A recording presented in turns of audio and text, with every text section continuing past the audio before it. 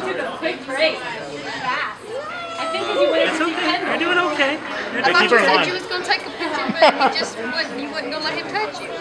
Hi, Mickey. Just wait. Just wait. Look at him. No. He's a little. He's a little scared of you right now, Kendal. You're, you're scaring him a little bit. He's a little timid. He's gonna hide behind my friend Marie here. Scared of you. He's scared of you, Kendal. Kendal.